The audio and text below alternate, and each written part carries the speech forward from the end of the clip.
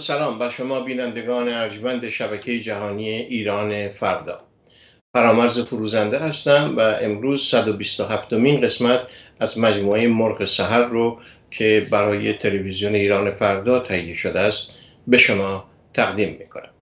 همکاران من که تهیه و پخش این برنامه رو به من یاری رسوندن و فراهم کردند عبارتند از علی کارگردان فوق دقیق و دوست داشتنی برنامه پومن همکار من همکار دیگر من و همینطور باید سپاسگزار باشم از دکتر علی رضا نوریزاده به خاطر این فرصت افتخاری که در اختیار من قرار دادند.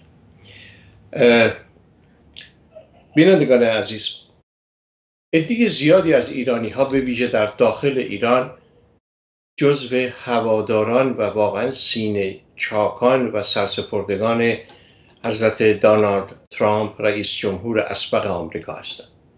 البته ادهی از نوچه های آقای دانالد ترامپ نوچه های ایرانی آقای دانالد ترامپ هم این روزها سعی می کنند که در کار آقای بایدن بگذارند و از این نظر برای خودشون یک محملی برای وجود و تحمل این دوران چهار ساله فراهم بکنند و پیدا بکنند.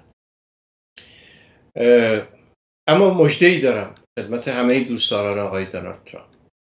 آقای دونالد ترامپ در پایان دوران مأموریت خودش کاخ سفید اعلام کرد که در سال 2024 برخواهد گشت و در این مدت در این خرابه ای که در فلوریدا داره ایشون دائما به ایران فکر می‌کنه و آماده است که در سال 2024 دوباره به مسائل ایران بپرد اینجا اون خونه است که آقای دونالد ترامپ در اون میره و زندگی می‌کنه یا رفته و زندگی رو آغاز کرده از دو سه هفته پیش آغاز کرد و بله در اینجا نشسته کنار این استخر فوق العاده زیبا که می‌بینید و در داخل خونه خونه ای که هست. در اینجا ایشون باور کنید گفته هیچ کاری من نمی‌کنم جز فکر آزادی ایران و حتما این در سال 2024 اتفاق خواهد افتاد. بنابراین خواستم من گزارشی رو خدمتتون داده باشم تا همه اونایی که وجود عزیز ایشون رو در کاخ سفید و اینم تخت خوابی است که اتفاقا روی این تخت هم به ایران فکر می‌کنن. ایشون بیچاره شبها میخوابه. درست کاخ سفید در مقایسه با این خانه آقای دونالد شبیه خونه نوکر آقای دونالد ترامپ در همین مجموعه. به حال امیدوارم که همه به آرزوشون برسن و آقای دونالد ترامپ هم در سال 2024 برگرده. قرار است که دموکرات ها آقای دونالد ترامپ رو پیشنهاد کردن در مجلس سنا که او رو استیزا کنند و برکنارش بکنند یعنی در واقع محکومش بکنند و امتیازات ریاست جمهوری ازش بگیرن اما این اتفاق به نظر می‌رسه که نخواهد افتاد به دلیل اینکه اکثریت لازم رو دموکرات ها در سنا ندارند و خیلی فاصله دارند. ده دوازده نفر فاصله دارند تا اون رقمی که باید باشه. پنج نفر از جمهوری ها پیوستن به دموکرات ها ولی هنوز فکر می‌کنم دوازده نفر دیگه باید بپیوندند که این نشدنی است بگذاریم از آقای دونالد ترامپ بگذاریم هرچی بوده گفته و شده و گذشته. اما امروز من مهمانی دارم که بعد از شروع برنامه حتما با ایشون صحبت می‌کنم. من با باور کنید این هفته گیجم. برای اینکه من نگاه می‌کنم می‌بینم که ما در منطقه خاور میانه یک قلدر بیشاخ و دمی داریم. که به هیچ کس و به هیچ دولتی جوابگو نیست. و اون دولت اسرائیل. و شخص آقای نتانیاهوست.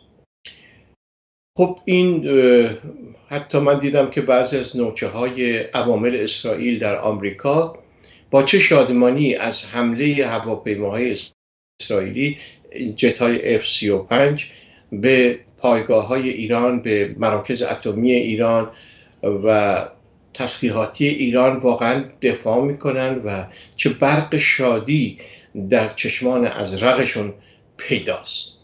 واقعا متحیر موندم چطور میشه ایرانی باشی و از حمله یک کشور خارجی به سرزمین خودت استقبال بکنی. این رو من نفهمیدم و بعد قوانینی که بر داشتن انرژی هسته‌ای در خاورمیانه حاکم هست. چرا ایران تنها کشوری است که باید تا این حد کنترل بشه. ولی بقیه هر کاری دلشون بخواد می‌کنن. آخه ایران برای بشریت خطرناکتر یا پاکستان یا هند یا کشورهای دیگه ای که از این طرف دارن بزرگ میشن و میان جلو و اسرائیل در واقع افتاده قلدر و قولتشن مدافع اونها شده. اسرائیل آمده در تمام کشورهای حاشیه جنوبی خلیج فارس اتراق کرده و جا خوش کرده. برای چی؟ برای تهدید ایران. و ما به عنوان ایرانی ها ضمن تنفر از رژیم کشورمون آیا باید با این وضعیت موافق باشیم؟ آیا باید فکر بکنیم که این نابسامانی و تبعیض برداشت سیاسی واقعا اون چیزی است که مردم ایران و کشور ایران مستحق اون هستند؟ آیا مردم ایران به اون حد از حزیز ذلت و حقارت تاریخی رسیدن که های اسرائیلی رو خوش آمد میگن من باور نمی کنم چنین چیزی حقیقت داشته باشه. من باور نمی کنم که من و شما و اونهایی که این جنس فکر می‌کنن اصلا هممون ایرانی باشیم چطور میشه آدم خوشحال باشه از اینکه بمبافکن ها بیان بر سر سرزمینش فرود بیان؟ و آتش خاری بکنن و این کشور رو بخوان نابود بکنن. عجیبه. خیلی عجیبه. از اون طرف مذاکراتی یا صحبت های مقدماتی هست در مورد مسئله برجام که آیا دوباره برجام یا نوع قرارداد جدیدی حتما منعقد خواهد شد یا نه؟ و بالاخره تفاوت های اساسی آقای بایدن رئیس جمهور کنونی آمریکا با دونالد ترامپ و اعضایی که طرفداران ترامپ در آمریکا گرفتن اگر می‌تونید پول جمع کنید و براشون تعدادی دست جعبه دستمال کلینکس بفرستید تا اشکاشون رو پاش بکنند. این واقعا شرایط باریه اجازه بدید قبل از اینکه مهمان ارجمند برنامه خودم کسی که معتقدم در مورد این سوالات قادر هست جواب درست حسابی به من بده رو دعوت بکنم روی صفحه تلویزیون بیان به یه قطعه زیبا از الناز آبدینی نگاه بکنیم. این دختره که کوچولوی زیبا آرمیکا که پیانو می‌زنه و الناز آبدینی هنرمند ارزنده که امروز باید در ایران باشه ولی در خارج از ایران به سر می‌بره این قطعه رو اجرا می‌کنه. قطعه ای که برای اولین بار در تاریخ موسیقی ایران اون رو خانوم خانم سیمین قانم اون رو اجرا کرد و کار آهنگسازیش رو فریدون شهبازیان انجام داد ترانه رو فرهاد شیبانی شاعر و ترانه سرای معروف ایرانی گفت و اثر خیلی خیلی زیبایی است. با هم نگاه می‌کنیم و خوش آمد میگم بعد از برنامه به دکتر هوشنگ امیر احمدی. شاید در روز نیم ساعت از وقت من صرف شنیدن ترانه های الناز آبادینی این خواننده بزرگ اپرا می‌خونه که او این قطعه های مختلف ایرانی رو اجرا می‌کنه و چقدر زیبا اجرا می‌کنه. توجه به آثار الناز آبادینی رو به همه شما توصیه می‌کنم. می‌تونید به روی براحتی اون رو روی یوتیوب پیدا بکنید. برای روی یوتیوب پیدا می‌کنید. ولی ارناز آبادینی هم همراه با هزاران هنرمند دیگه در ایران نیست. در نهایت تاسف بگذاریم. دل آدم به درد میاد. مهمان ارجمند من دکتر هوشنگ امیر احمدی. آقای دکتر به شما سلام عرض می‌کنم. سلام از بنده است جناب آقای فروزنده عزیز. سلام برای همکاران ما در تلویزیون ایران فردا. و سلام برای همه بینندگان و ایرانیان در هر جایی که هستند برای همشون بهترین ها رو آرزو می‌کنم. آقای دکتر شما جزو کدوم گروه هستین؟ آیا جزو اون گروهی هستید که به دل خواد البته شاید این منصفانه نیست که با شما اینطور صحبت بکنم ولی می‌خوام بفهمم واقعا. آیا شما فکر می‌کنید که حمله اسرائیل به ایران یک اقدامی است که یک ایرانی ایرانی با شرف باید از اون دفاع بکنه و از اون خوشحال باشه؟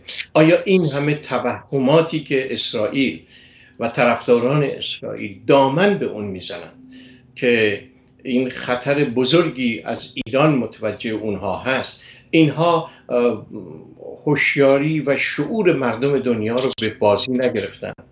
من نمی‌تونم اینو بفهمم. چرا این همه تبعیض در رابطه باید وجود داشته باشه؟ چرا یک کشور 7 میلیونی باید آزاد باشه؟ هر کاری که می‌خواد بکنه. و بعد به بحانه های واهی برای اینکه بتواند جای بیشتری در قلب ارباب یعنی آمریکا باز بکنه و حمایت اون رو داشته باشه. و نفوذ سیاسی خودش توسعه بده از یک امر ارز کردم واهی دامن بزنه بهش و اون مسئله انرژی اتمی ایران و ساختن بمب و موشکای دوربرد ایرانه. مگه خود اینها کم دارن از اینها؟ مگه تجربه اونها تجربه درخشانی است؟ در تاریخ معاصر جهان. نمی‌دونم شاید من اشتباه می‌کنم. راهنمایی بفرمایید. بله. از کنم حضورتون که اول بگم از مقدمه بسیار خوب بسیار خوشم اومد. و من الان در موردش صحبت می‌کنم. به تبریک میگم مخصوصا روی اون قسمت ایرانش. برای مقدمه بگم من در مارالاگا اون کلاب آقای ترامپ بودم.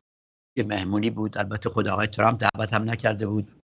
آقای دان کینگ که اون به اصطلاح رهبر بکس های بزرگ منو دعوت کرد. برحال عرض شود که جای بسیار زیبایی همونجور گفتی از کاخ سفید هم راحتتر و بهتره برای آقای ترامپ. و میگم که اونایی که طرفدار ترامپن بیشتر به فکر خودشون باشن. ترامپ حال داره زندگی خوبی می‌کنه. و اما قسمت دوم مقدمت بسیار بسیار بسیار مهمه. من خیلی خوشحالم که روی ایران تکیه کردی. ایران ایران ایران. عرض کنم حضورتون که متاسفانه آقای فروزنده ما ایرانی ها که طور کلی منحرف شدیم بیراهه رفتیم. یه عده طرفدار دموکراسی هستیم یه عده طرفدار امریکا هستیم یه عده طرفدار برجام هستیم. یه هر, هر کس از ما طرفدار یکی هستیم. ولی وقتی که به ایران می‌رسه طرفدارا بسیار بسیار کمن. بذارید ارز کنم من نه فقط مخالف جنگم که مخالف تحریم هم هستم. یک ایرانی اصیل و وطن پرست طرفدار تحریم علیه مردمش نمیشه. به این بهانه که این تحریم ها هوشمندن و دولت و حکومت و هدف قرار دادن اینا شارلاتان بازیه که دوستانی می‌دونیم کیا هستن. در جاهای مختلف اینا سر هم کردن و واقعیت اینه که تحریم ها برای دولت ها و حکومت ها خوب بودن برای مردم بد بودن و معیشت ایرانی ها هم به دلیل بیبرنامگی و عدم مدیریت خوب حکومت و هم به دلیل تحریم ها به مخاطره جدی افتاده. و اما برگردم به همین نکته باز ایران. ما ایرانی ها راهی جز اینکه به ایران برگردیم و این ایران رو با هیچ دوگانگی مقایسه نکنیم. دموکراسی و ایران کدوم یکی ایران برجام و ایران کدوم یکی ایران. با امریکا رابطه برقرار کردن و توی غرب بودن. کدوم یکی؟ ایران. بم موشک هر چیزی دیگری. اسرائیل ایران. کدوم یکی؟ ایران. ما ایرونی ها تا یاد نگیریم. ایران بگیم و برای ایران باشیم و جونمون برای ایران بذاریم. آدم نمیشیم. می‌خوام رو راست بگم. آدم نمیشیم. ما الان تقریبا یک و نیم دو قرنه. که رهبرامون بزرگامون یا انگلوفیلن یا روسوفیلن یا فرانکوفیلن یا امریکافیلن. الان هم این اواخر چاینافیلن. یعنی طرفدارای روس و انگلیس و فرانسه و چین و امریکافیل و اینا. تنها چیزی رو که نداریم ایرانوفیله. ما باید ایرانوفیل باشیم. در این چارچوبه که من با اون مونولوگ در مورد اسرائیل بسیار موافقم. نه فقط اسرائیل در رابطه با امریکا در رابطه با اروپا. هیچ کس هم نمی‌تونه منو یا شما رو متهم بکنه به ضدیت با غرب و امریکا و اینا. بعد 35 سال از زندگی ما برای حل مشکلات ایران و امریکا و غرب گذاشتم. بنده شاید جز نادر نادر ایرانی های هستم که به ایران رفت آمد می‌کرد و فلس اسرائیل رفت. زندگی که کار کرد اونجا و برنامه ریزی داشت براش. و اما حرف درسته. ما متاسفانه ایرانی ها سوراخ دعا رو گم کردیم. سوراخ دعای ما ایرانه. نه اسلام نه برجام نه امریکاست نه اسرائیل نه دموکراسی.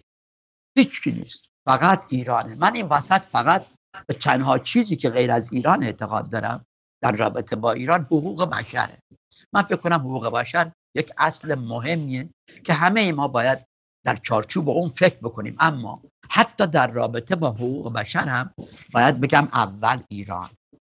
اول ایران. این نکته خیلی مهمیه.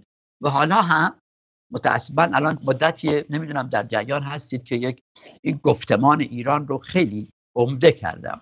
من خب از وقتی که سازمان برجام رو سه سال خورده پیش درست کردم با با فکر ملت گرایی اومدم وسط. ملت یعنی همون کشور ملت یعنی همون میهن ملت یعنی همون ایران. یعنی که ملت مردم نیست. ملت مجموعی از مردم جغرافیا فرهنگ و تمدن حکومت و روابط بین الملله این یعنی ایران. خب ملتگرایی یک توری عامتریه که نه فقط به ایران به همه جا ارتباط پیدا می‌کنه. ولی وقتی که این ملتگرایی رو در رابطه با ایران مطرح می‌کنیم در واقع همون ایرانگراییه همون وطن پرستی میهن پرستی میهنگراییه من حتی کلمه پرست رو میگم. یعنی ما دارم ما می‌خوام میگیم که ما تا اینقدر باید در مورد ایران بریم جلو. ما یاد اون رفت که باید ایران رو ستایش بکنیم. حالا یاد میگن پرستش مال مذهبی هست خیلی حداقل ستایش که نیست. ما باید ستایشگر فرهنگ ایران تمدن ایران مردم ایران جغرافیای ایران تمدن ایران. اینا باشید متاسفانه آقای فروزنده ایرانیا خیلی دارن بیراهه میرن. یک عده شارلاتان رو که راست بگم برداشتن دموکراسی رو در مقابل ایران گذاشتن. دموکراسی دموکراسی دموکراسی دموکراسی. در حالی که تو تمام ایران که بگردی در اون خودشون هم که بگردی پنج نفر دموکرات ندارن. می‌خوان یه خش یه خونه آجوری بسازن با خشت های خام. تو که خشت خامی. دنبال خونه آجوری هست که مرد حسابی همه جیغ و بیغ دموکراسی می‌زنی. کجا کجای تو دموکراته؟ تو تمام این نیروهایی که علیه حکومت در چارچوب دموکراسی هستن؟ پنج نفرشون دموکرات نیست. بله ما باید بریم علیه این حکومت برای ایران. دوگانه ما ایران و اسلامه. دوگانه ما ایران و نظامه. دوگانه ما ایران و اسرائیل ایران و امریکاست ایران و اروپاست. ایران. ما این دوگانگی رو باید نه اینکه آقا دموکراسی خیلی یه دارن سر مردم کلا گذاشتن جوونامون طبقات متوسطمون و روشنفکرایی که اکثرا دیگه مغزشون پوکه. اووردن وسط. مثل توتی. بدونی که اصلا بفهمن دارن چی میگن. دموکراسی دموکراسی دموکراسی. میگم آقا تو اصلا نمی‌دونی کلمه دموکراسی. اصلا دموکرات نیستی. اصلا کشور نمی‌دونی در چه مرحله زندگی مردم. ببین این حکومت خیلی با خیلی جالبه. آقای فروزنده دلم حالا این شما رو دیدم دارن درد دل می‌کنم. ببین این حکومت معیشت مردم رو از بین برده. سرزمین ایران نابود کرده. فرهنگ و تمدنش رو و روابط بدمدلش رو تنها چیزی که نگه داشته نظام میشه. و اون نظام برداشته ایران رو در مقابل دموکراسی خواه گذاشته. خودش اون کنار وایستاده داره زندگی می‌کنه. بعد یه عده از ماها افتادیم به جون حکومت برای دموکراسی. میگم آقا این حکومت دنبال دم... دموکراسی رو از بین نبرده ایران رو از بین برده. اگر فردا به نظر من شما به این حکومت اسلامی دو تا گزینه بدید که آقا بین ایران به دموکراسی یکی رو انتخاب کن من به تو قول میدم دموکراسی رو انتخاب می‌کنه. هم تا الان هم کرده. شما برگردید به تاریخ 42 ساله این حکومت می‌بینید که در تمام این موارد با ایران بیشتر بد عمل کرده تا با دموکراسی. طرف تو وسط تهران تو خیابونا تو خود خونه تهرانش زندگی می‌کنه. از اونجا با رادیو تلویزیون های خارج مصاحبه می‌کنه فوش می‌کشه به خامنه ای و به سپاه و امثال هم و بعدم میگه این کشور دموکراتیک نیست. حالا من نمی‌خوام بگم جمهوری اسلامی دموکراتیکه سوالی که من دارم اینه چطور میشه طرف در تهران به سپاه بگه تو تروریستی به خامنه ای بگه تو قاتلی بچه های مردمی؟ بعد اونجا هیچ که کارش نداشته باشه. بعدم بگه ما کشور دموکراتیک نیست. یکی باید اینو بر من توضیح بده. من امیدوارم اینو یه عده توضیح بدن. ما چاره جز نداریم. که برگردیم به ایران. برای همینم مقدمه شما بسیار بسیار آقای فروزنده مهمه بی نظیره فقط مسئله اسرائیل در این رابطه نیست. در رابطه با همه اون دوگانگی هایی که در مقابل ایران گذاشتیم و منحرف شدیم رفتیم اون ور. با قول شما یه عده سینه چاک ترامپ هستن. یه عده هم پیدا شدن سینه چاک بایدن هم. من سینه چاک ایرانم. من نه, نه ترامپ برای من مهمه نه بایدن مهمه نه امریکا بود همشون هم محترمن. منافع ملی همشون هم قبول دارم.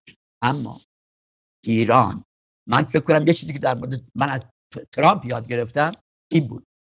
امریکا فرست ناسیونالیسم در عمقش. و بعد هم گفت آقا هر کشوری توی سازمان ملل بود. هر کشوری حق داره بگه کشور من فرست اول.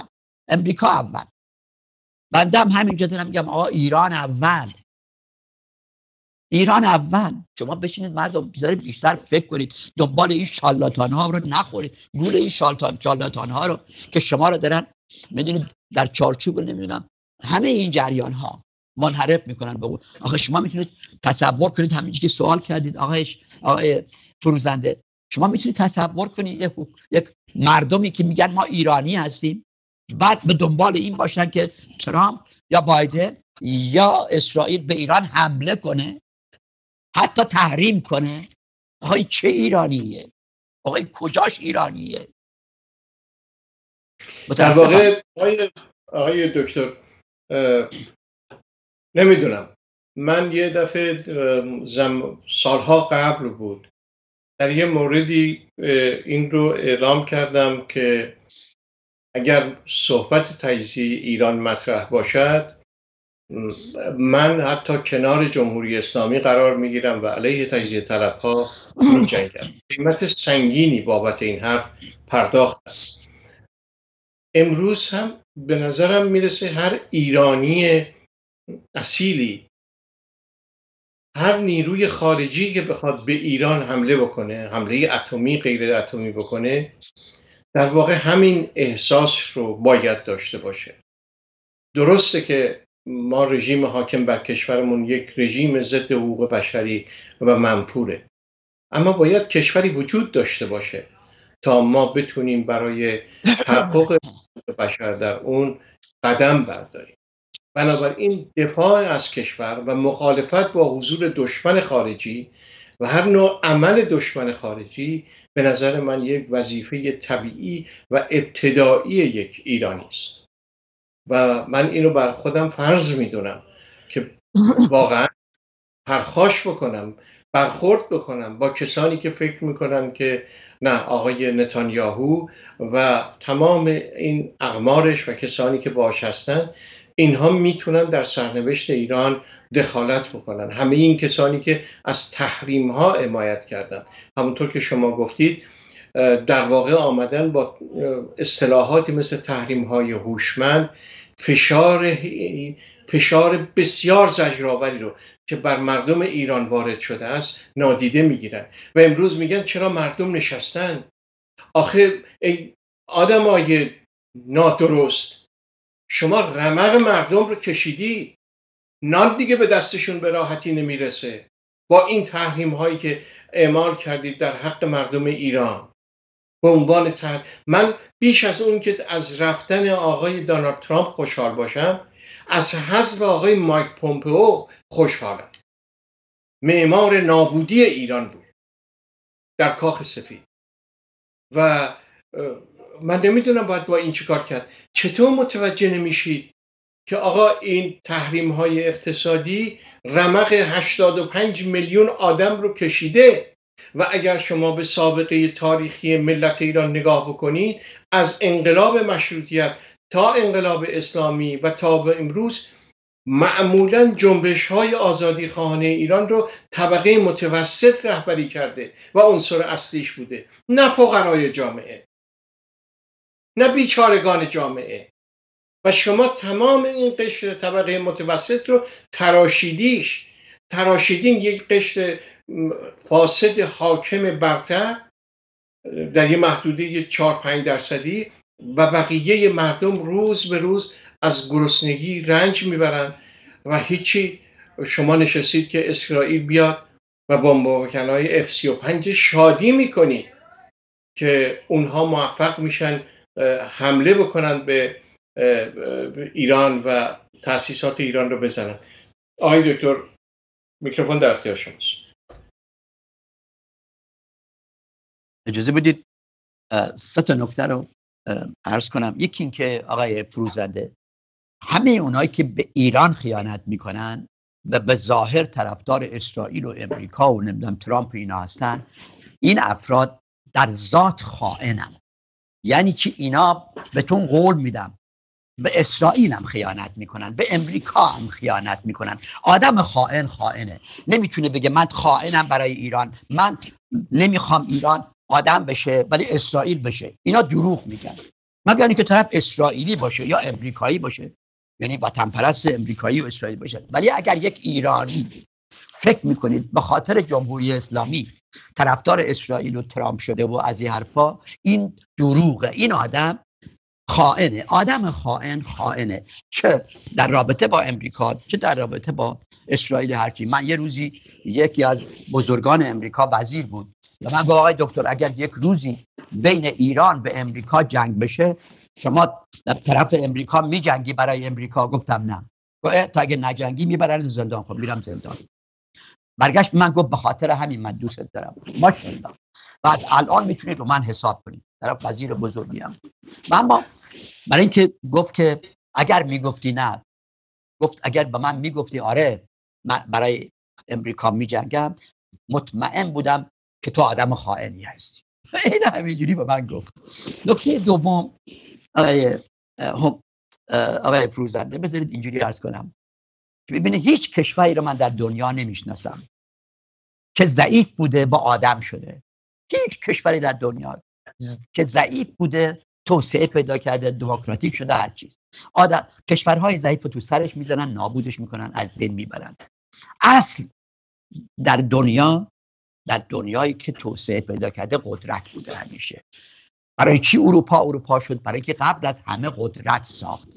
ماشین جنگی ساخت. رفت دنیا رو گرفت. همه رو سرکیسه کرد برگشت.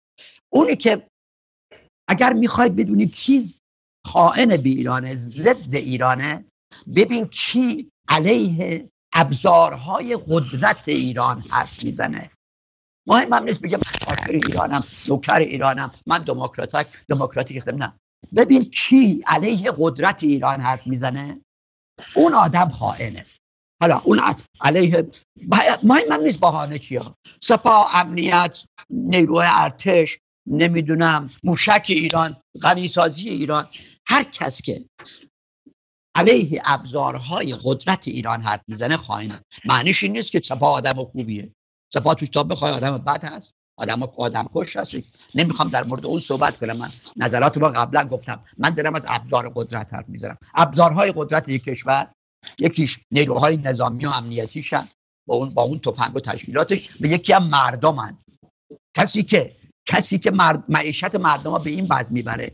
کسی که علیه مردم تحریم رو میپذیره این علیه قدرت کشور و امنیت کشور. اینم خائن به ایران. به همین دلیلم میگم تحریمی ها اونایی که تحریم می‌کنن یا طرفدارش هستن بازم خائنن. برای اینکه قدرت کشور رو ضعیف می‌کنه کشور رو ضعیف می‌کنه مردم رو ضعیف می‌کنه. این نکته خیلی خیلی مهمیه که ما بهش توجه بکنیم. و نکته آخری رو که می‌خواستم عرض بکنم اینه که من اعتقاد دارم طبقه متوسط ما که همون که به درستی گفتی در واقع هسته اصلی جنبش ها و نمی‌دونم اصلاحات و انقلاب های کشور بوده و معمولا در این صد سال گذشته کم یا زیاد در قدرت در واقع در رهبری جنبش ها بوده و از این حرفا متاسفانه یواش یواش و هر چه بیشتر پوک شده پوک.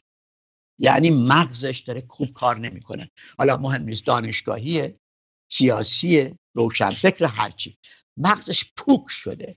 حالا این پوک شدن معنی داره. البته اینم بگم استثناءات داریم.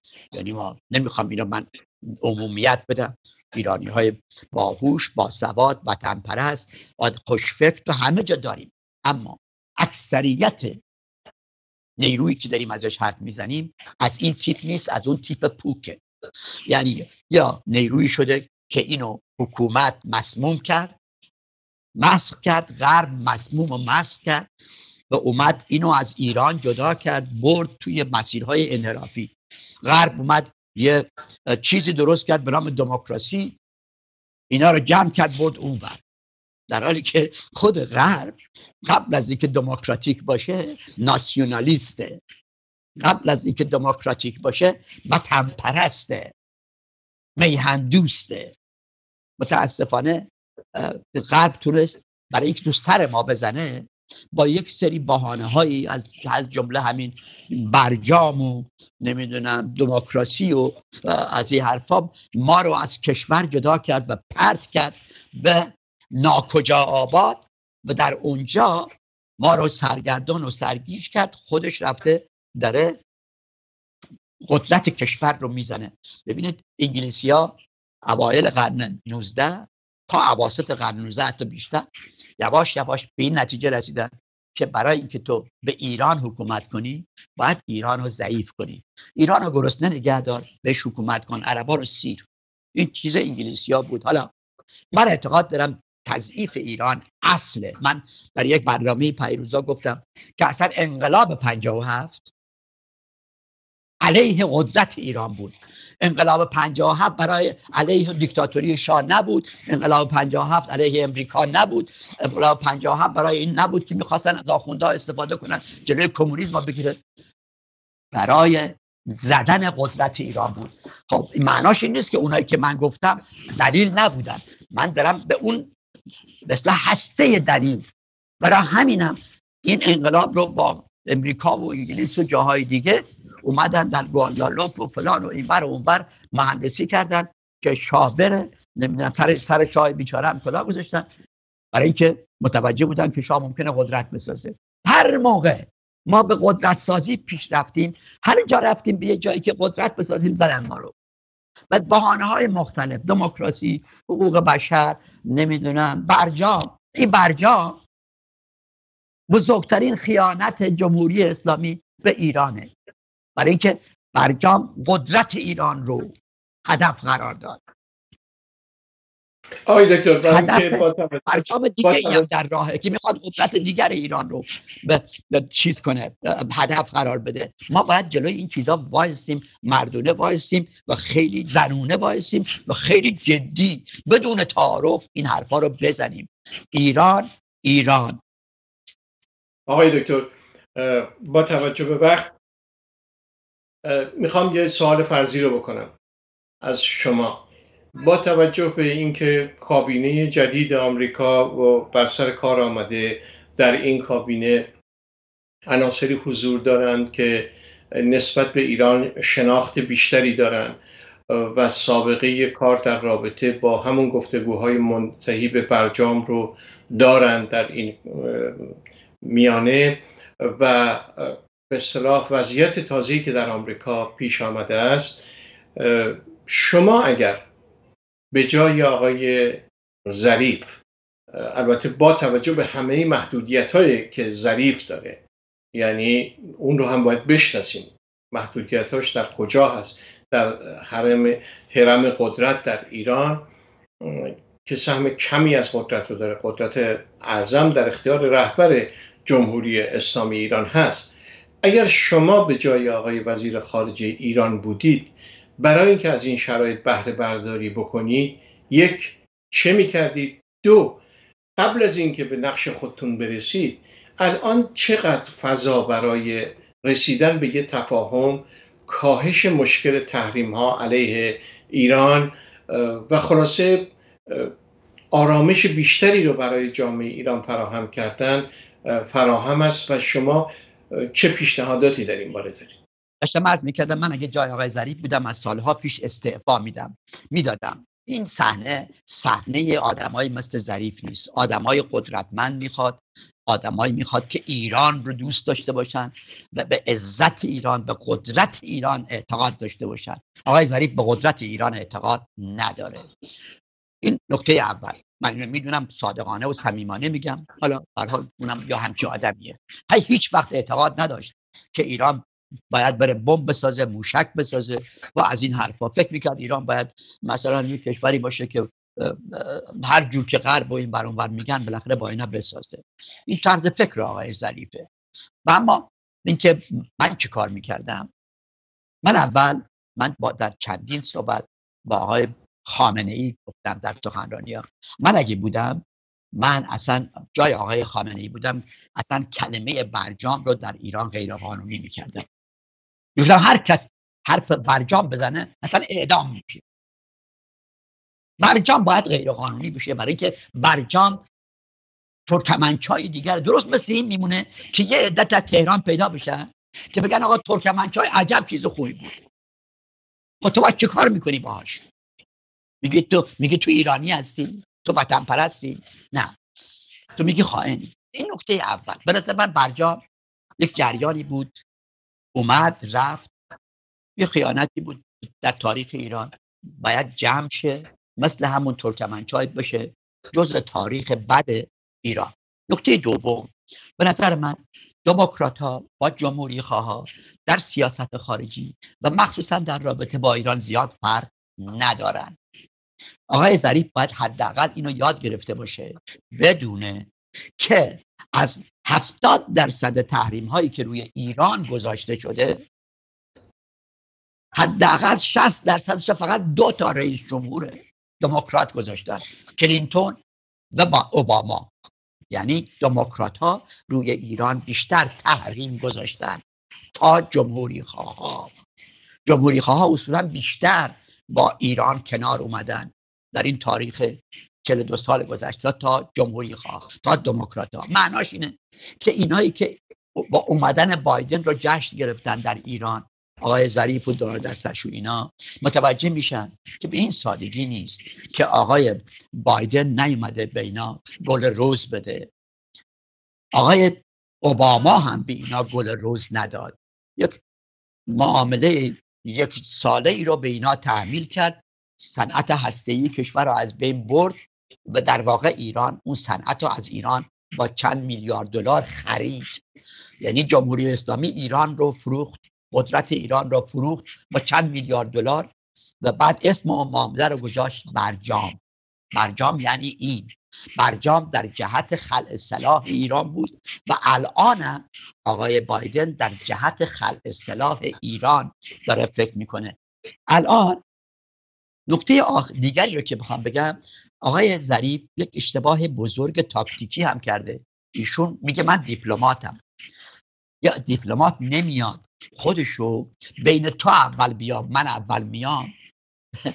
به اصطلاح تو تله بندازه. یک رئیس جمهور جدید اومده. آقای ظریف باید مینشستون کنار با بقیه ایرونی ها بفرمایید. می‌خواید تو برجام بیایید بفرمایید. نمیخوایدم بیایید بفرمایید. اصلا این بحث که چیه آقا تو بیا برگرد. برای چی باید برگرده؟ اصلا چرا منت می‌کنی؟ چرا خواهش می‌کنی؟ آقای آقای ظریف چرا کشور رو اینقدر ذلیل می‌کنی؟ برای اینکه بازم می‌خوای کشور رو بفروشی. برای چند میلیارد دلار. مردم ایران تحت فشارن. قبول. اما آقای فروزنده ما یک کشور سه, سه هزار ساله حداقل هستیم. تاریخ نوشتمون. هزارها جنگ کردیم. بیشترش هم باختیم. اما موندیم. برنده هامون رفتن. ما چرا اینقدر از جنگ باید بترسیم؟ چرا اینقدر باید به ما ما رو تحریم بکنن بعد از ما امتیاز بگیرن؟ تا کی؟ فردا هم میان بگن آقا حالا اگه شما غنی سازی رو ندی مثل اوباما گفت جنگ میشه. از امروز هم میان میگن غنی سازی بقیهش هم باید بدی به اضافه موشکا رو وگرنه جنگ میشه. فردا هم میان میگن اگه خوزستان رو ندی جنگ میشه. تا کی؟ تا کجا؟ من از جنگ بترسید من بنابراین پیشنهاد بعدی به آقای ظریف و دوستاشو آقای خامنه اینه از جنگ نترسید. هر روز الان برای اینکه از ایران امتیاز بگیرن هر روز هواپیماهای چیز اسرائیل این برون برن بمب ها این برون برن باشه؟ بفرمایید. خوش اومدی. اسرائیل بزن. مردشی بزن؟ برای چه اینقدر هواپیما این برون بر می‌کنی؟ این حرفا چیه؟ ما که نباید بترسیم که آقا کشوری که میترسه که آدم نمیشه که. من اعتقاد دارم الان تمام این جریان های دشمن های ایران هم خائنین ایرانی ایران هم همینجور مرتب این بر اون که بعد ایدی کوهن اینا گفته این اونو گفته فردا دارن می‌زنن. آ فلان. حالا چرا؟ برای اینکه می‌خوان ایران برگردونن به یک برجام دیگری موشکارم ازش بگیرن. نکنید این کار رو خائنین. حکومت نکنید این کار رو بشین اونجا. یه چیزی بهت بگم باور کنید الان اگر جمهوری اسلامی مقاومت کنه اگر مقاومت کنه تا هم تا مقاومت آخرش. به قول میدم هر چی رو بخواد از دولت بایدن می‌گیره. ولی من نگرانی اینه که بازم نرمش قهرمانانه. قبل از موقع بیاد و همه چی از دست بره. آقای بایدن برنامهش اینه که ایران رو برگردونه به برجام. یعنی بعد از که از ایران از برجام رفته کارهایی کرده. مقدار نمی‌دونم سانتریفیوژ ساخته مقدار غنی سازی کرده. آقای بایدن میگه برگرد. یعنی اون سانتریفیوژ رو از بین ببر. این بقیه غنی سازی هم که بعد از برگشتنت به برجام انجام دادی این هم از بین ببر. بعد من میام تاریخ انقضای این قراردادم تمدید می‌کنم غر... یعنی گسترش میدم طولانی تر می‌کنم. بعد بازدیدهای آژانس رو رو ایران بیشتر می‌کنم. و بعد از اون تازه میشینم سر موشکا خب نگاه کن. اول می‌خوان ایران برگرده به برجام. اسمی هم از رفع تحریم نیست. شما برگرد به برجام. اون وقت منم برمیگردم به برجام. بعد چی میشه؟ بعد این برجام رو گسترش میدیم. هم از دید بازدید. بازدیدهایش آژانس و هم از دید ارز کنم که این جریان تاریخ انقضاش. بعد میریم سر موشکا آقای ظریف آقای خامنه ای آقای روحانی یه دفعه خیانت کردی به قدرت ایران دیگه نکن. بگو ما نیستیم. می‌خوای برگردی برگرد. با همون برگشتن ها نمی‌خوای برگردی بر نگرد برو دنبال کاره هیچ اتفاقی هم نمیفته هیچ جنگی هم نمیشه. مگه جنگ شوخی همینجوری بشه؟ آخه بچه بازی رو انداختن این اصلا بچه بازی شده. درست مثل که جنگ دعوای بچه هاست چه حرفی هر کس از راه می‌رسه میگه جنگ. الان هم دارن بحث جنگ رو مطرح می‌کنن که اون که موشک های ایران رو ازش بگیرن. تصاوی خیلی جالبه. حتی فرانسه هم اروپایی نه فقط فرانسه اروپایی هم با آقای بایدن گفتن که به برجام بدون شرط بر نگرد. مشروط برگرد. یعنی همون چیزی که دارم الان عرض می‌کنم. این برجامه. آقا برجام رفته. آقای خامنه ای برجام اصلا قدغن کن. اصلا این کلمه رو غیر قانونی کن. این ترکمنچای بود. رفت. تموم شد. بذار بشه مخفی از تاریخ ما. می‌خوای مذاکره کنیم؟ من طرفدار مذاکره هم من طرفدار مذاکره هم آقای خامنه ای با یک نیروی جدید با یک هدف جدید یک مذاکره جامع با آقای بایدن بکن. آدم های درست حسابی رو میز بذار با قدرت رو میز بذار. و برو جلو. همین همین کاری که در الان می‌کنی رو ادامه بده. نرو تو قلیز نرو تو برجام. همینجوری ادامه بده. مجلس کار خوبی کرد؟ مجلس کار خوبی کرده. گفته تا دو ماه دیگه اگه امریکا به برجام بر نگرده ما از امپیتی میایم بیرون. درسته. باید بیاد بیرون. که تا دو ماه دیگه اگه بر... امریکا به برجام بر نگرده تحریم ها رو بر نداره یعنی تحریم ها رو بر نداره. اون وقت ایران هم و همین کاری که داره می‌کنه ادامه میده غنیسازی 20 درصدی و 30 درصدی و 90 درصدی می‌کنه اصلا یکی باید به من بگه چرا ایران نباید بمب بسازه. آقا یا آقای آقای خامنه ای میگه بمب در اسلام حرامه. آقای خامنه ای بمب کجای در کجای اسلام حرامه؟ این چه آقای... زدنه؟ آقای دکتر وقتی ما به پایان رسید. حتما در گفتگوی بعدی که به زودی با شما خواهم داشت از اینجا شروع می‌کنیم که مبنای فتوای بمب حرام است در اسلام از کجا میاد. از اینکه در برنامه شرکت کردید از شما ممنونم. از اینکه به دلیل زیغ وقت ناچارم که برنامه را قطع بکنم و تمام بکنم از شما پوزش می‌خوام. روزتون بخیر آقای متشکرم. از دعوت لذت بردم از صحبتی که با هم داشتیم. سپاسگزارم. بینندگان ارجمند هر جا که هستید لبهاتون پر لبخند دلهاتون شاد. روزگار به کام به امید سرفرازی ایران. وقت شما بخیر.